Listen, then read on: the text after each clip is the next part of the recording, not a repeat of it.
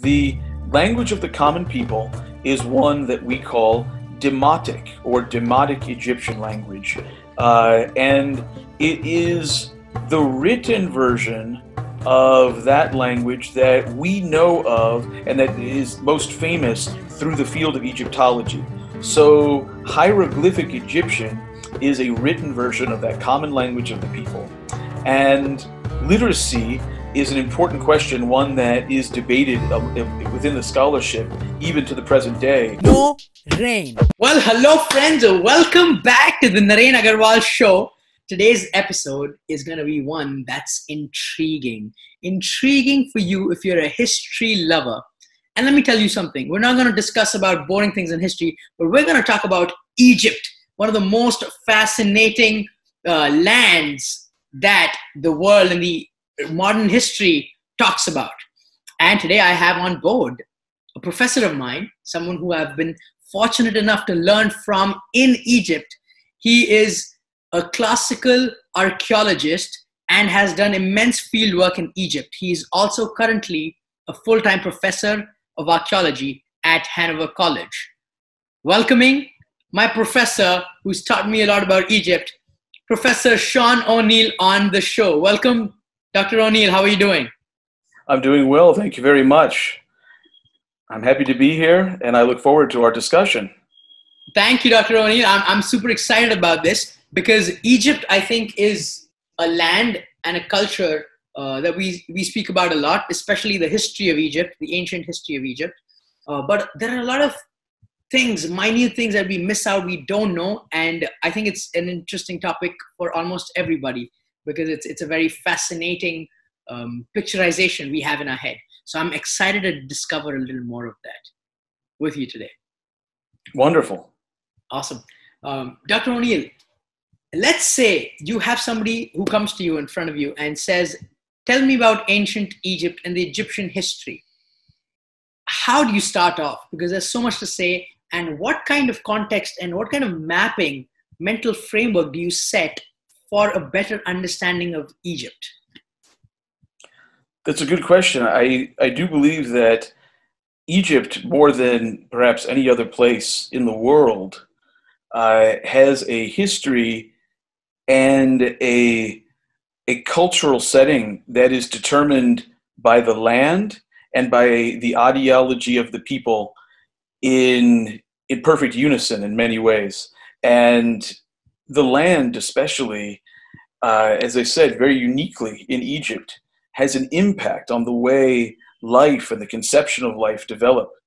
Remember that the land of Egypt would be desert, right, for the entire historical period, except for that one river that cuts through the land, the Nile River, creating that lush valley, uh, providing for life, vegetation, everything that sustains the population there. And so we begin there as you conceive of all life and the unfolding of human history there in Egypt. Beyond that, during the period that folks are most interested in, this period of rulership by the kings of Egypt, whom we call pharaohs, I think that highlighting the ideology and the focusing on the person of the king as not just a leader and a hero in the sight of the people, but also as an intermediary between the people and the gods of Egypt. In the religious sphere, that would be primary, and we have to start there if we're really to understand Egypt's pharaonic history, the daily life of the people, their priorities, the focal points of the culture. And, and that, as I said, is rather unique in some ways, the fusion of those two factors to such a strong degree when you consider every other part of the world. Wow, wow, that's beautiful. So, so what kind of timeline are we talking about? What years in the history when we're talking about this uh, time when the pharaohs ruled Egypt? Well, the real beginning of pharaonic rulership is is difficult to pin down in some ways uh, because we have stories, we have legends uh, in uh, a very small amount of epigraphic evidence, that is to say, inscriptions. And it seems to us that uh, before there are any long dynasties of rulers, that there were kings who were established in various parts of Egypt, and that those rulers already before 3000 BC were in place. So, yes, this is a very ancient history, if you were wondering, and uh, one of the most ancient uh, for which we actually have uh, records. And of course, it's the existence of documentary writing that determines whether we can speak of history or not, and is the dividing line between that which is prehistoric and that which we call historic. So Egypt's history is uh, it's extremely ancient as these things go, and the first kings, perhaps around 32 to 3100 BC. Wow, so that's almost about 5,000 years ago that we're talking about. Yes, exactly. So Dr. O'Neill, pyramids. When did the pyramids come into play, and why do you think people are so fascinated by pyramids? What's this whole talk about the pyramids, and why is it such an icon? Do you think? Another great question. Uh, those pyramids that are so famous in Egypt uh, belong, generally speaking, to one of the older periods of Egyptian history, which may come as a surprise to you, given the massive scale of those impressive achievements. So those pyramids belong to what is often called the Old Kingdom period in Egypt's long pharaonic history. And the Old Kingdom, just to give you an idea, um, begins way back in the 27th century BC. So we're talking about extremely ancient structures that have captured the imagination of people around the world uh, possibly because of their incredibly massive size. Uh, an engineering achievement that is uh, rather stunning for the period of human history uh, on a global scale. It's just um, really quite astounding. And I know that's given rise to all sorts of theories, and there's still mysteries surrounding uh, the construction of those pyramids. Hopefully, we'll be able to clear some of those up today, yeah, or yeah. at least suggest some ways to clear those up today.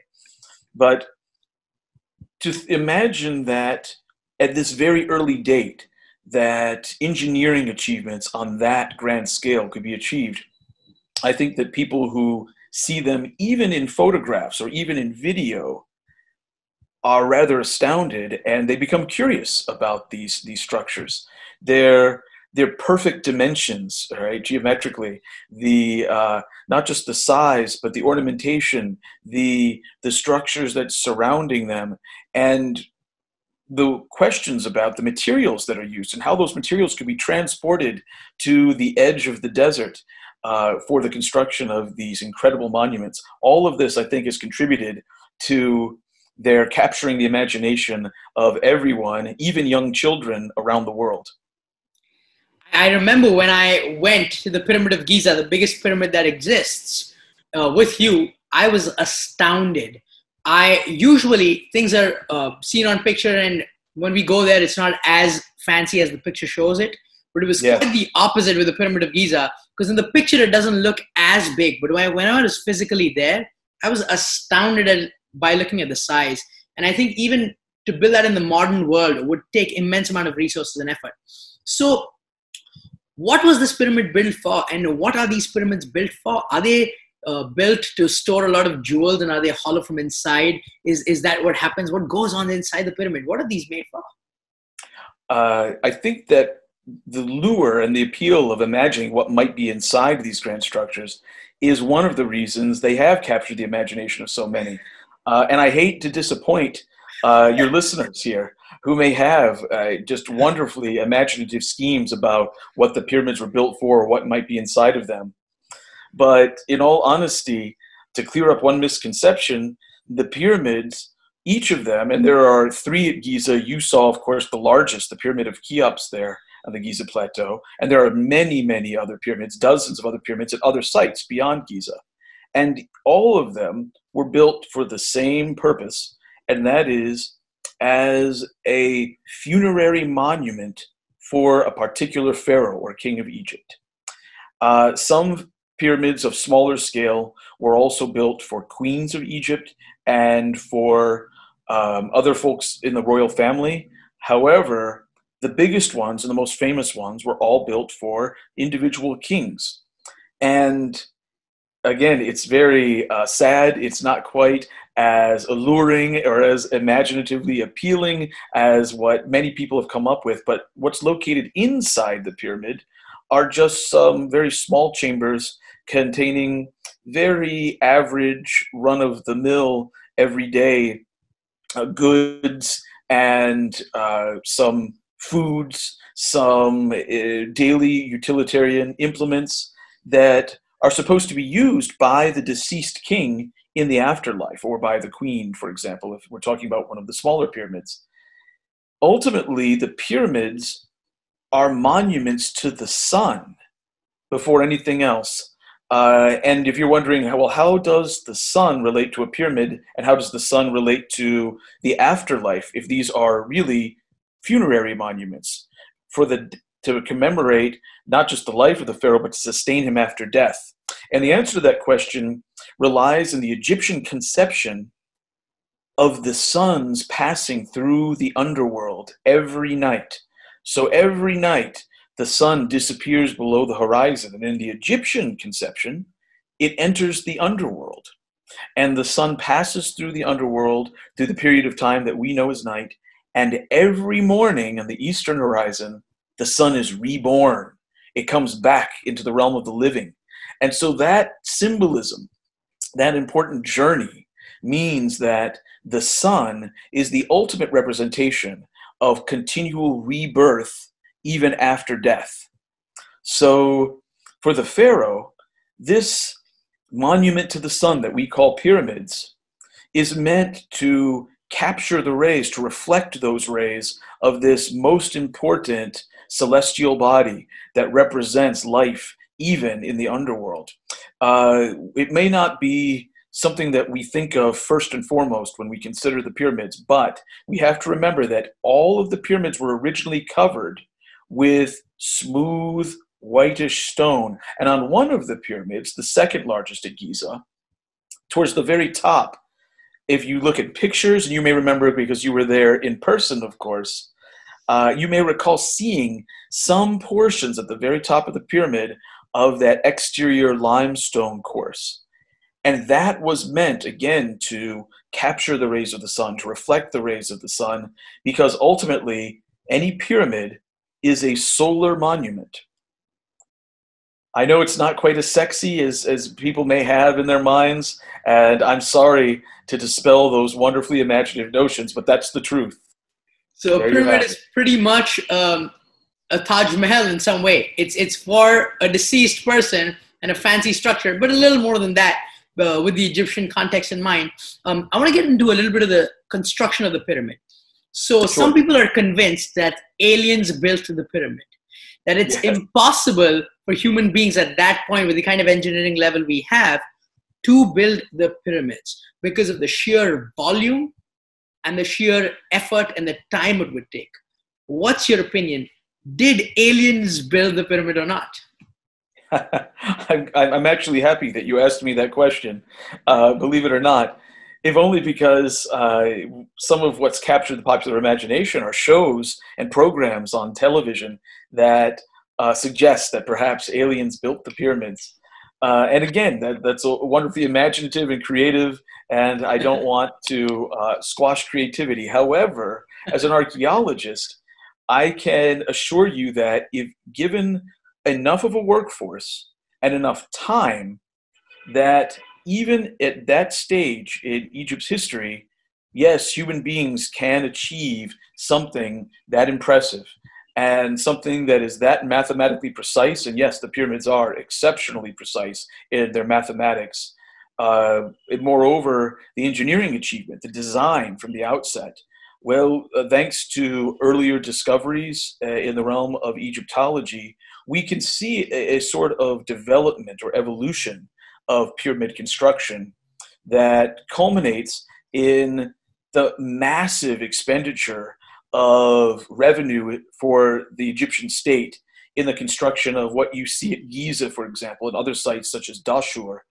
Uh, these pyramids would have been an incredible economic burden, again, really mainly as a testament to the ego and the hoped for grand afterlife of a single individual. So it's very tough, tough to justify, and eventually in the Old Kingdom it becomes impossible to justify. But imagine that a workforce of thousands works not just for two years or five years, but works for 25 to 30 years on this same project. Now, the materials have to be transported from a great distance, but one has use of the Nile to transport all of those materials. Uh, I know many people consider the pyramids to be desert monuments, but in fact, that desert location, as you saw when you were there, is right on the edge of the Nile River Valley. And because of that, during the season of the flood in particular, one could bring all of the necessary materials right to the edge of that Nile Valley and transport them a very short distance from the water to the location of those pyramids on the Giza Plateau. The same was true for all of the pyramid sites that exist in Egypt, not just Giza, but all of the pyramid sites on the west bank of the Nile. And so, imagine that we have decades to construct this and a workforce of thousands of individuals. Now, as long as we work consistently over time, it's quite amazing what can be achieved with the right design. And that's key. The, the ability of Egyptian engineers is incredibly impressive. It's uh, unprecedented globally. But is it impossible for humans at that time? No, not at all. In fact, it's quite possible, given what we know about the evolution of monumental construction in Egypt and the and the incredible design that was attributed to a figure who becomes so mythical and so legendary that he's actually brought into the pantheon of the gods in Egypt, an individual whom we know as Imhotep. And Imhotep was credited with the first pyramid design um, implemented at a site called Saqqara, not too far from Giza in Egypt, and a site that you yourself have visited, good sir. And so um, because we're able to trace that and we can see the progression of pyramid construction, we know how the engineering mind worked at that time in Egypt's history. And so, yes, with enough time, enough resources, and a, a sizable workforce, something as grand as that magnificent pyramid of Cheops that you saw on the Giza Plateau can be achieved. Now, exactly how the stones were put in place remains debated even to this day. There are three theories, but all of them really come down to using temporary earthworks, the building up of uh, mud and earth on a slow grade ramp, precisely right, um, in order to move those blocks into place from a great distance.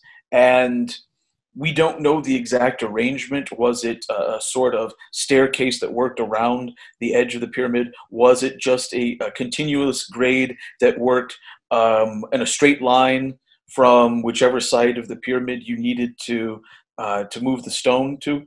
And so we may not know the exact mechanics, but at least we have some strong idea of the technique that was employed in order to put those blocks in place.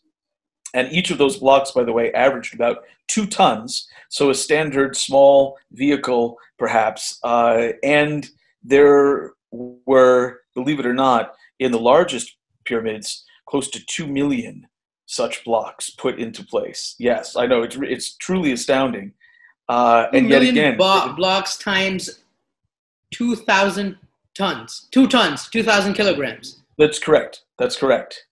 Wow. So if you can imagine having to move that many stone blocks into place, um, again, maybe, maybe between one and a half and two million uh, such blocks in the largest pyramids, this is what was achieved by those Egyptians. And again, when you see the numbers, when you uh, look at the measurements of the pyramid, you think, how could human beings without modern construction technology achieve something like this? And yet, uh, again, given enough time, uh, enough uh, resources from the Egyptian state put into the project, and of course a massive workforce, I would suggest that it can be done, and it was done.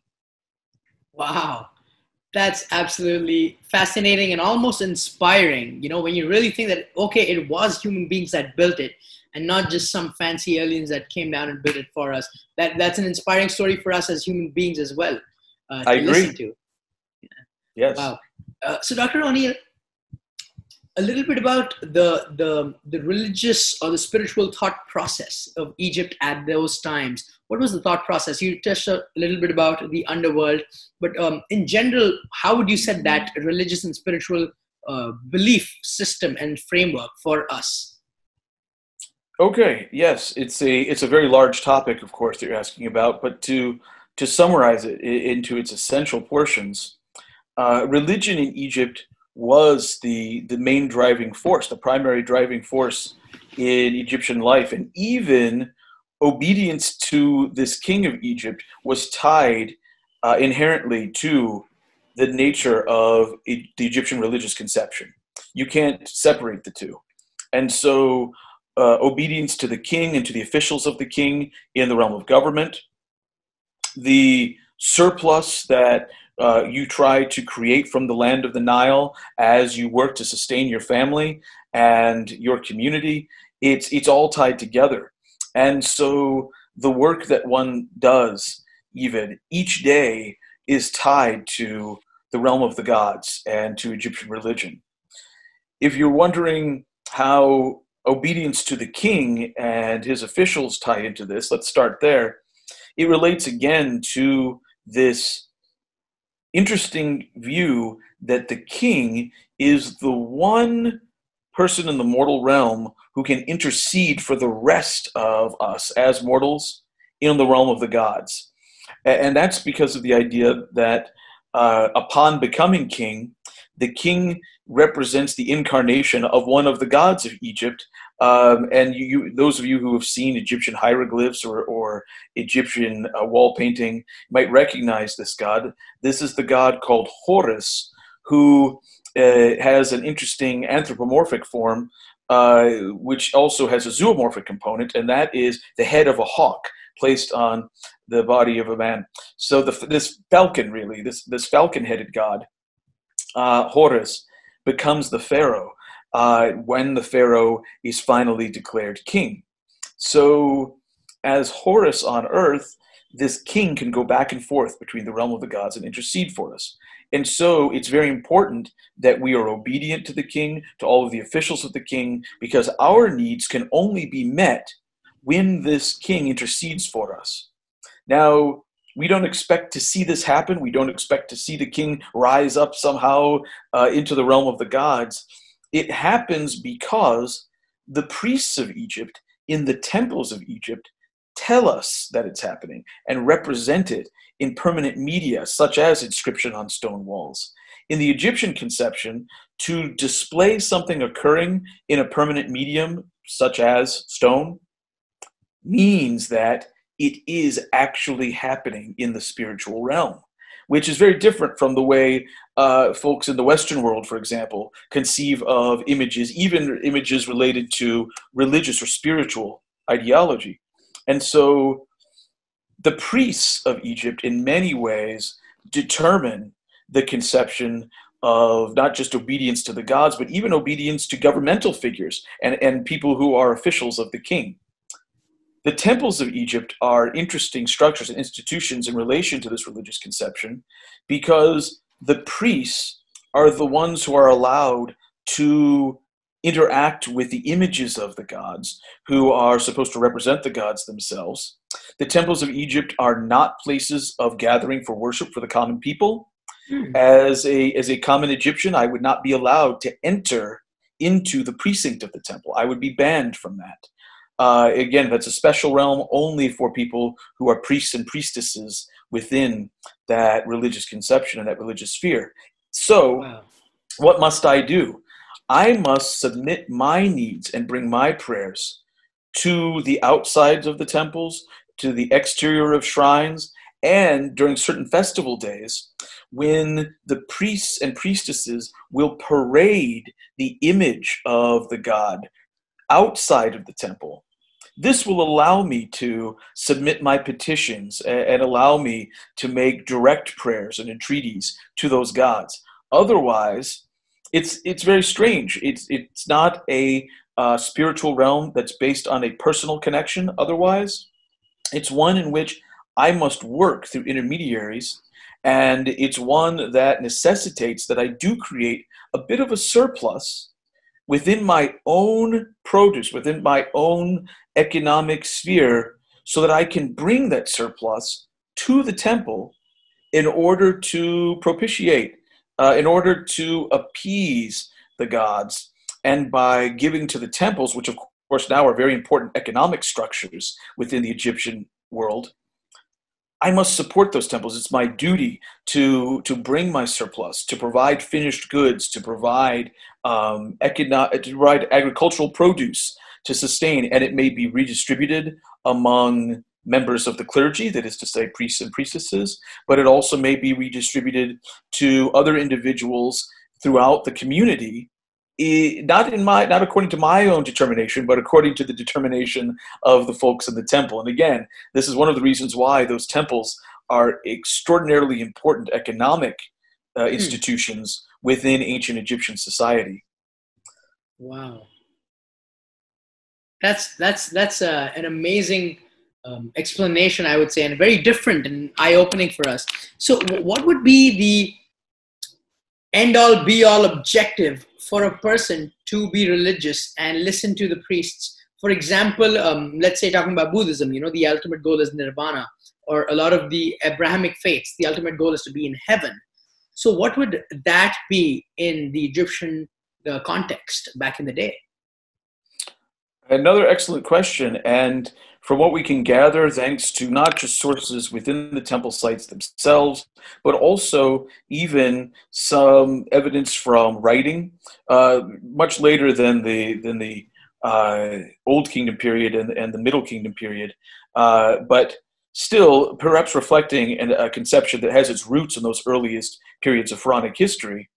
What we recognize is that what people are striving for is a happy afterlife, which can only be achieved through the cleaning of your heart as a human being as you live your life, through proper obedience to the gods, and through the correct, proper signs of not just obedience to the Pharaoh, but also um, to honoring the gods appropriately. So if you have done this, then you'll have the chance upon your judgment in entering the outskirts of the underworld to either go into a place that at least affords the opportunity for a happy afterlife or being sent down uh, to the equivalent of what one might consider hell um, in the Judeo Christian scheme.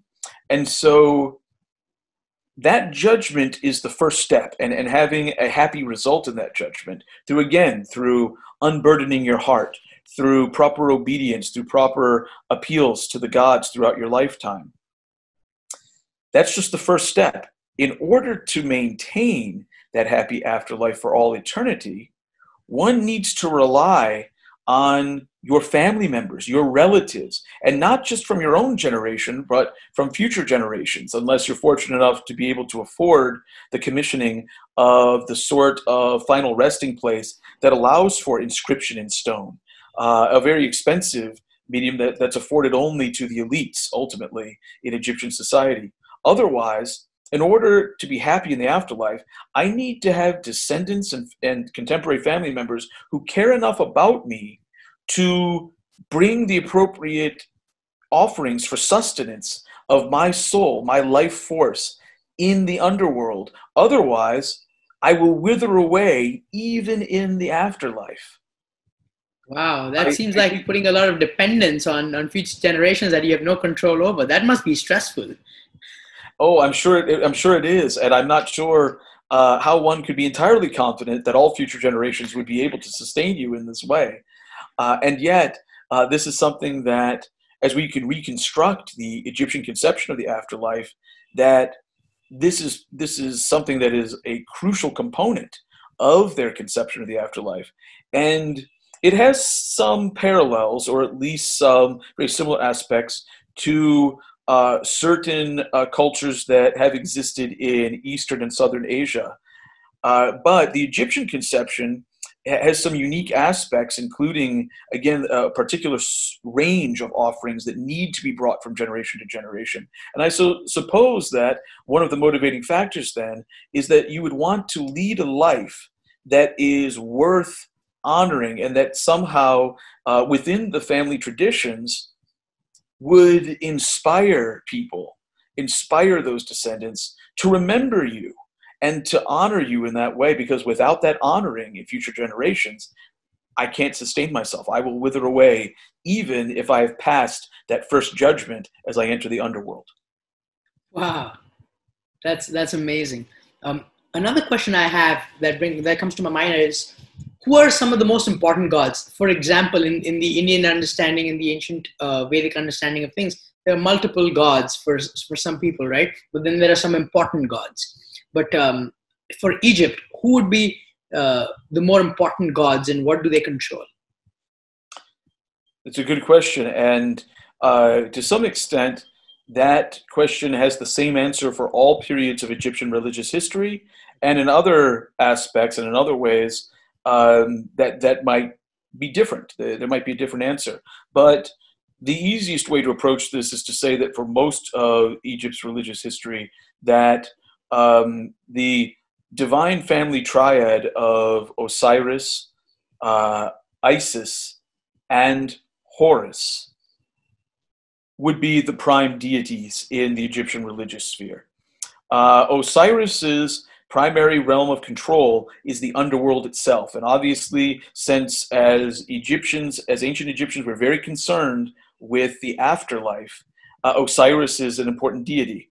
Um, his consort, his wife, Isis, is also crucially important, and there are numerous temples devoted in, solely in her name uh, throughout Egypt's religious history, especially as we progress through history and we arrive in the so called late period and the period of rulership by foreign kings, such as Greco Macedonian kings and queens, whom we call the Ptolemies, and under, during the Roman period. Isis becomes so important during the Roman period uh, that she is worshipped outside of Egypt at temples devoted again in her name throughout the Roman Empire, which uh, many folks find to be surprising because she is, of course, an Egyptian goddess in her birth, not a Roman deity, not one of the, the members of the Greek pantheon, certainly. And so many folks find it extremely surprising that Isis would be worshipped so widely. And in fact, in peninsular Italy, where of course the capital of the Roman Empire is located, the worship of Isis became so popular and so dominant that the Roman authorities become worried, actually, huh. that that that some of the local state religion is being overshadowed by the worship of Isis, and there's an edict that is issued by the Roman Senate that bans the worship of Isis in Italy. Yes. Uh-huh. So it's it's quite amazing. Uh, so Isis becomes a dominant uh, goddess, a dominant deity, and then Horus. We've already mentioned the crucial aspect of Horus in relation to pharaonic rulership. The kingship in Egypt is inherently joined with the figure of Horus. And so, because of the influence of the king and the officials of the king in daily life, I think that we must include Horus in that list of the most important deities in the entire Egyptian realm. Wow, so that's almost like the Egyptian Trinity in some sense. yes, it is in, in some ways. yeah. Wow. Uh, Dr. O'Neill, what language did the people speak and uh, communicate in? And was was written communication very common between folks, or was it only the elite and the top class priests who did it? Um, let, let, us learn a little more about the language and, and the communication back in the day in Egypt. Absolutely. Uh, the language of the common people is one that we call demotic or demotic Egyptian language. Uh, and it is the written version of that language that we know of and that is most famous through the field of Egyptology. So, hieroglyphic Egyptian is a written version of that common language of the people. And literacy is an important question, one that is debated um, within the scholarship even to the present day. Uh, and it's one that it's a debate that certainly won't be resolved anytime soon, but we at least have some idea that in the earliest phases of pharaonic history, that the ability to write and even the ability to read is the exclusive preserve of really a, a small percentage of the population. And the ability to write in hieroglyphic Egyptian is so exclusive that it's only certain members of the priesthood um, who appear able to write in that way. And so uh, early on, this most famous writing scheme, again, is held by just a few people in the employ of the temples and a few perhaps in, in the um, royal service as well, working for the king directly. Now, as time progresses, literacy does expand uh, within the Egyptian population. And there's a point in Egypt's history when we can use writings on a material known as papyrus, a reed that grows there in Egypt, and which, in fact, uh, a, a plant that gives us our own word paper in the English language. Papyrus was the writing material of not just Egypt, but the entire ancient world for, for many centuries. And so, you, tracking that evidence, we're able to make some conclusions about the expansion of literacy the Demotic Egyptian language had a writing system that comes to be known through papyrus that is distinct from the Egyptian hieroglyphs that we see used in the setting of the Egyptian temples. Remember that it is by and large the same language that we're talking about, simply uh, distinct writing systems ultimately. Okay. And so, as we trace this and our evidence becomes much, much more extensive in the so-called late period of Pharaonic history, the Ptolemaic period when Egypt was ruled by Greco-Macedonian kings and queens, and especially throughout the Roman period, that we can see that this language does evolve as all languages do, but uh, also uh, a language that becomes much more accessible to the common people in its written form. Uh, the ability to read, therefore, becomes uh, much more widely propagated. And at the same time as these foreign rulers come in, we see that education in other languages, especially the Greek language, hmm. also becomes uh, something that is spread like wildfire throughout the Egyptian land and although we can conclude that it is still a minority of the population that is able to read and write, uh, the numbers have come quite a long way from those earliest periods in Egypt's long history. Wow, wow, wow. That's, that's really cool. And uh, how the written language, the language remained the same, but the writing became different. That's, that's quite uh, an intriguing thing that happened. Dr. O'Neill, I want to talk about this a lot of people, if I ask them, name one ruler, one king from the Egyptian times, ancient Egyptian times, they would say Tutankhamen. You know, mm-hmm. King Tutankhamen seems like the word everybody knows. And um, it, there's almost a projection like he was this grand ruler uh, who ruled Egypt and he's one of the most famous guys. But I know there's a myth around it. So let's break that myth. Who is King Tutankhamun and why is he famous? An excellent question. And again, I hate to uh, dispel the great romantic and imaginative notions surrounding the famous King Tut, right, whose proper name, as you already mentioned, is Tutankhamun.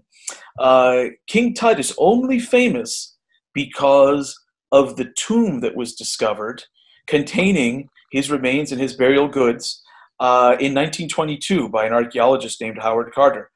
Why was this such an exceptional discovery? Why is it that this put Tutankhamun's name on the map, so to speak, and spread it around the world so quickly? And the answer to that question is that the king uh, whose tomb was discovered in the Valley of the Kings in an unrobbed state, in a pristine state of preservation, and in fact, the only royal tomb, even to this day, that was discovered without any robbery of the grave goods, the rich grave goods that were interred with him in the Valley of the Kings, is this interesting uh, pharaoh, Tutankhamun, who was a very minor pharaoh ultimately. And again, I hate to dispel the grand romantic notions of King Tut, the famous King Tut, but he died at an incredibly young age. He was only 19 years old when he died. Uh, he didn't really achieve anything in Egyptian, uh, in the military sphere. Uh, had he lived longer, perhaps that would have happened. But um, he, he didn't uh, make any grand changes within Egyptian society uh, in terms of organization. No, this boy king is so famous and is a, a, a name that's recognized around the entire planet because his tomb was discovered in this very well preserved state. Uh, it was an amazing discovery made back in 1922, but it's one that uh, perhaps gave great notoriety to a king who would otherwise be unknown to oh uh, 99.9% of the population.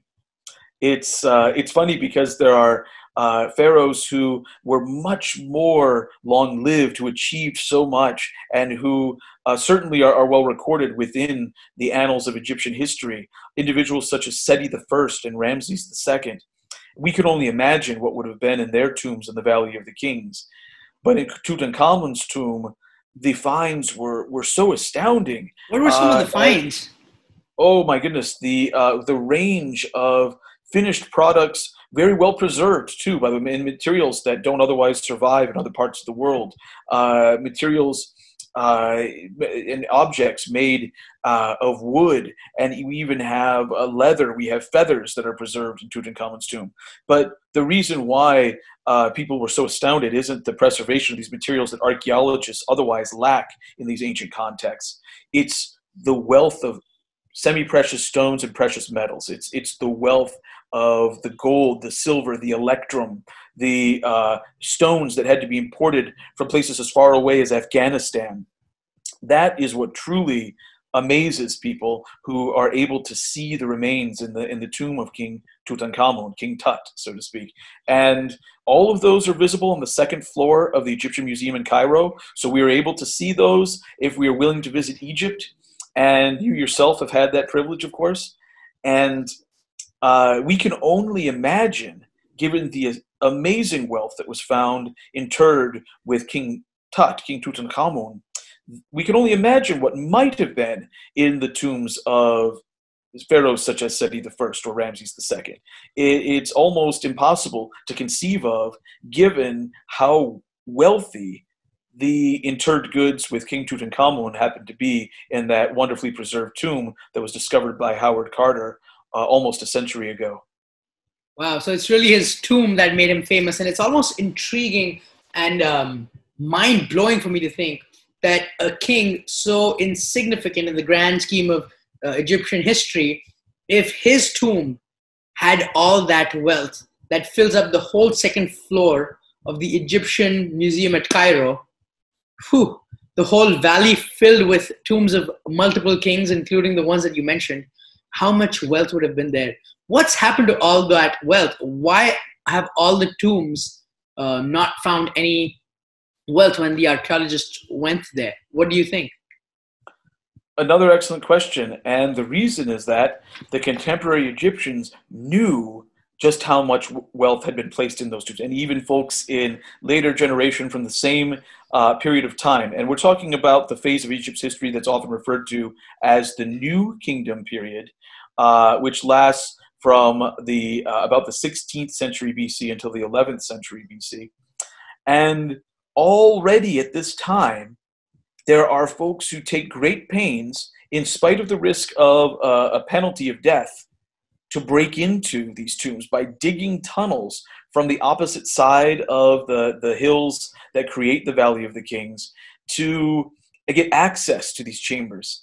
And even though uh, the priests took great pains to protect them and, and put in a great effort to protect them, already in New Kingdom Egypt, they weren't able to. And then, as we consider later periods for the tombs that may have been preserved, as we consider uh, the following intermediate period, as we consider the late, so-called late period, as we consider the Ptolemaic era, knowing that that wealth was there put those tombs constantly at risk.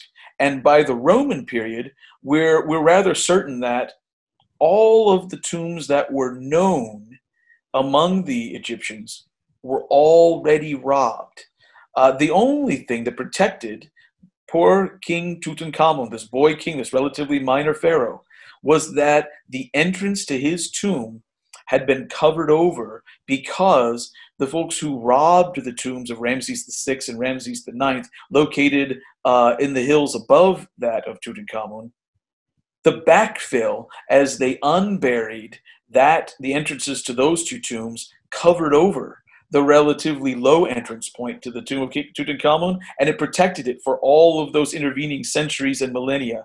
Otherwise, I'm quite certain that the tomb of Tutankhamun would have been robbed as well, just like those others. Wow, that's that's really a strike of luck in the history and the scheme of things, especially for an archaeologist. I feel like because in 1922, when you go to the Valley of Kings and you see everything is robbed, I mean, it, it must take immense amount of luck to find that spot that takes you and reopens a whole history in front of your eyes. That's amazing. Yes. Would you like to comment a little bit about that? Yes, absolutely. Uh, actually, Howard Carter had worked for several years in the Valley of the Kings. And it was interesting because he had a wonderful theory, a wonderful idea um, based on the much later Kings lists that provide us much of the our reconstruction of Egyptian pharaonic history. Those Kings lists come from much later eras, such as the Ptolemaic era and the Roman era. But working back from those kings lists, he looked at the New Kingdom period and he saw that every pharaonic ruler had been accounted for in the known remains of these robbed out tombs, except for one. And that one was a, a pharaoh with the name Tutankhamun. He had been born Tutankhaten because he was the son of King Akhenaten, who had uh, changed the capital of Egypt and changed the entire religious uh, structure of Egypt for one generation, a single generation, in which uh, worship was was was was placed exclusively on the worship of the sun disk, which is to say, uh, Aten, the life providing, uh, eternally renewing sun.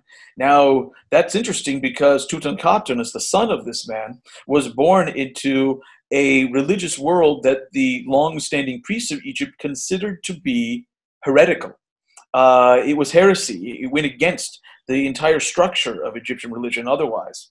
So when Akhenaten died, the priests of the traditional religion were eager to eliminate this, this entire view of Egypt's religion. So here's the boy king, a son of the previous pharaoh, Akhenaten, who now dies at a young age and who is buried in this uh, tomb in the Valley of the Kings, yes, to honor his role as pharaoh, but only after he had agreed to change his name to not to honor Aten, but to honor Amun, who is a deity I didn't mention earlier, but who becomes down in the south of Egypt and ultimately then through the entire nation of Egypt.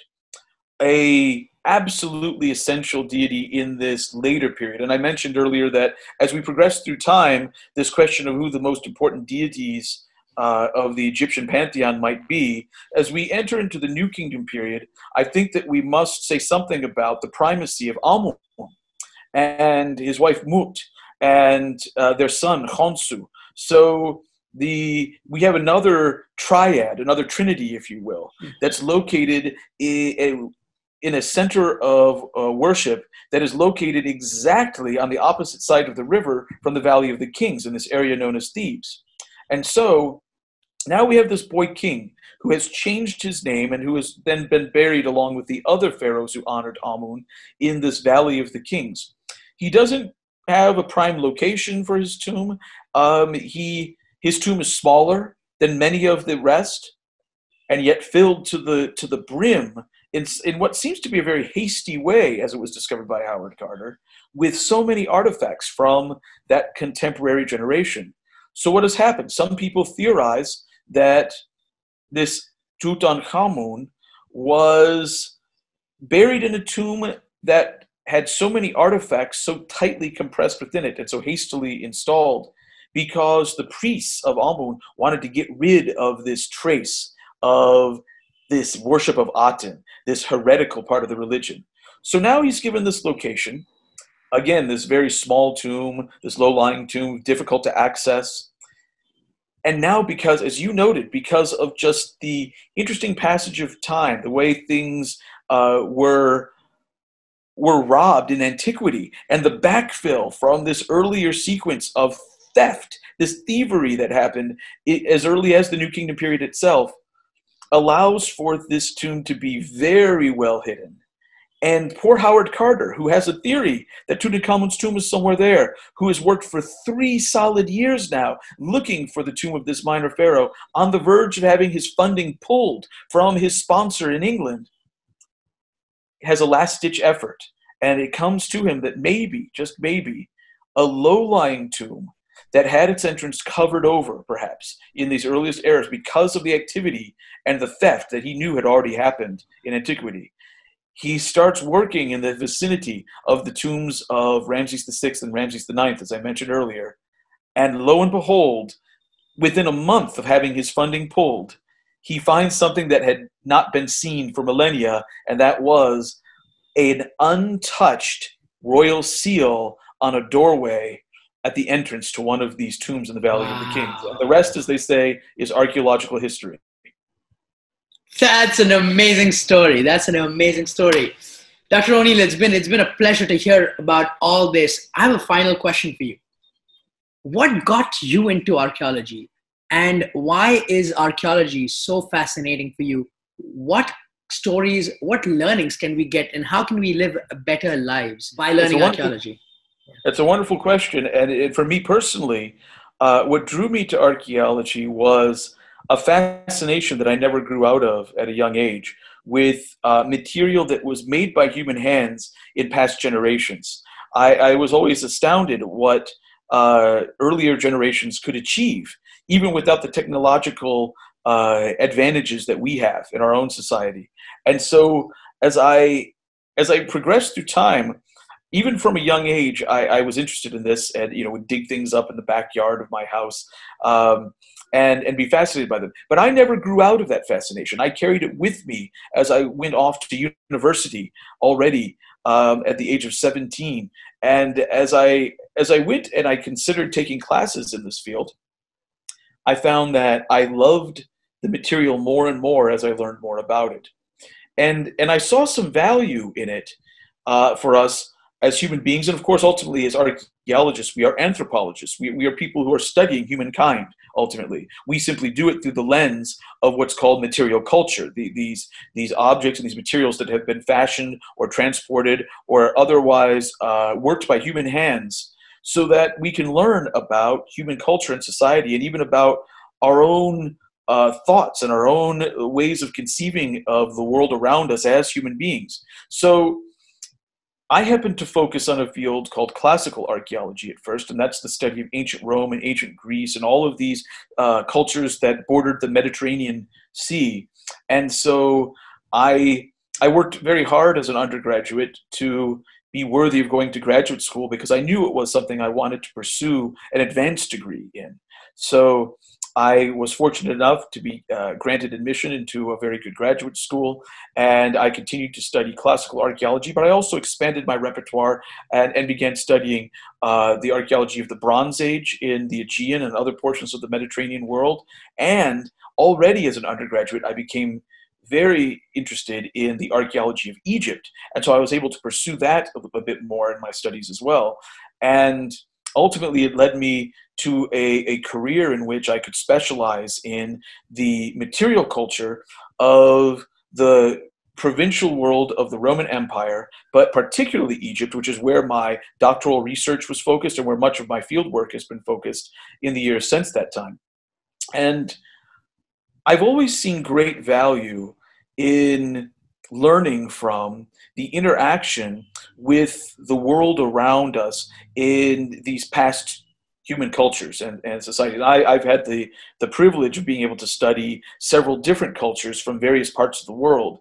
And like most anthropologists, I, I try to look at the commonalities and what joins us and unites us as human beings, uh, not just geographically, but also chronologically through all periods of time.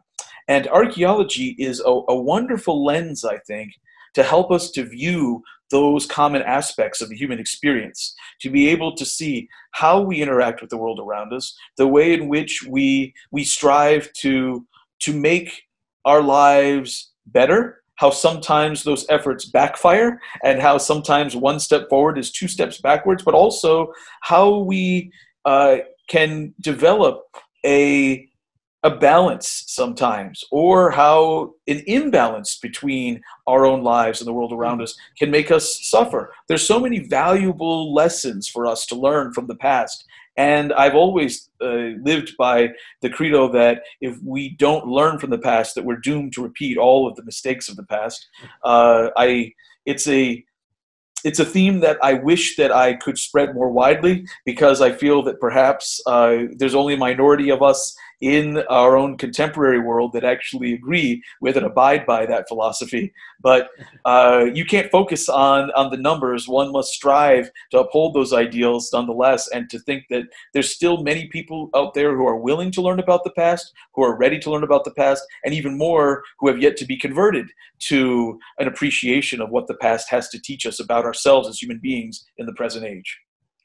Wow, you're definitely somebody who inspires us and intrigues us uh, about the past, and I'm sure some people will get converted into into the philosophy that you just mentioned. So thank you once again, Dr. Neil. This has been an amazing um, learning and a refresher for me as well. I look forward to maybe having another conversation with you in the future about the Greco-Roman age and the Greco-Roman history, but that's for another time. Thanks very much once again for being on the show. You're very welcome, and thank you, Mr. Naren. I appreciate it.